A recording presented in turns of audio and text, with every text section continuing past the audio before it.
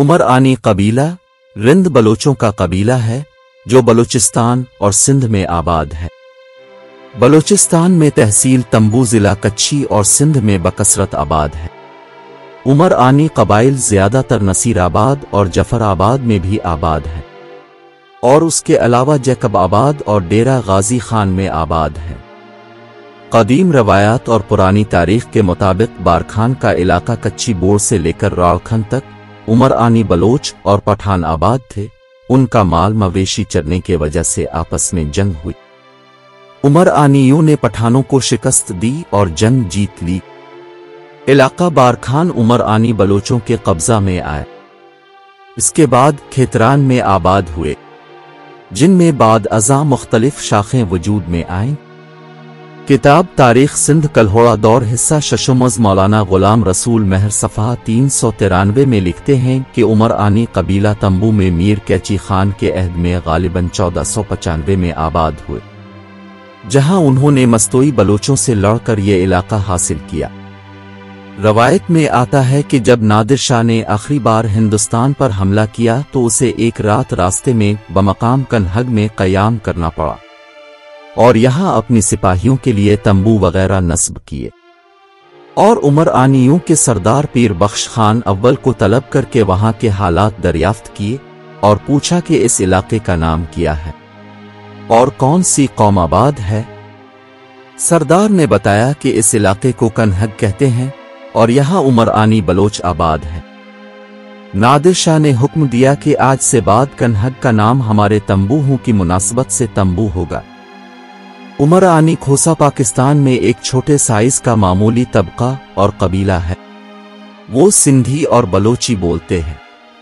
وہ زیادہ تر جیکب آباد اور ڈیرہ غازی خان میں آباد ہے گزشتہ سات نسلوں سے عمر آنی کا بزرگ قبیلہ رحمان زئی قبیلہ رہا ہے۔ عمر آنی کے موجودہ دو ہزار دس میں سربراہ سردار فتح علی خان عمر آنی تھے۔ پچھلے رحمان زئی سردار رہے ہیں۔ ان کے سابقہ سرداران کے نام یہ ہے رحیم خان عمر آنی اول، خدائی خان عمر آنی اول، رحیم خان عمر آنی دوم موسا خان عمر آنی، خدائی خان عمر آنی دوم، محمد خان عمر آنی، فتح علی خان عمر آنی، عمر انی قبیلے کے اہم قبیلے درج ذیل ہیں۔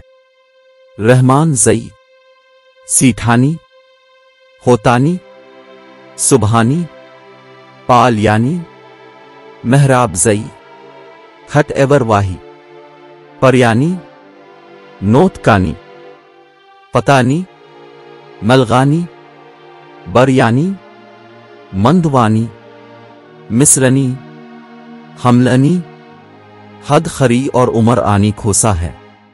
ضلع نصیر آباد کی آبادی ضلع جفر آباد سے کم ہے۔ جمالی کھوسا اور عمر آنی کھوسا اور عمرانی قبائل سے زیادہ۔ جمالی کے متعلقہ ضلع جعفر آباد پر جمالی کا غلبہ ہے، جبکہ ضلع نصیر آباد میں کھوسا، عمر آنی، بگٹی، رند، براہوی، جاموٹ اور دیگر کی مخلوط آبادی ہے دو ہزار دس سردار فتح علی خان عمر آنی بلوچستان اور سندھ، پاکستان میں عمرانی قبیلے کے سردار ہیں۔ فتح علی خان سردار محمد خان عمر آنی کے صاحبزادے ہیں۔ وہ گڈی رحمان، نصیر آباد، بلوچستان میں پیدا ہوئے۔ ان کی تعلیم گڈی رحمان میں ہوئی۔ وہ چار بار بلوچستان کی صوبائی اسمبلی کے رکن بنے۔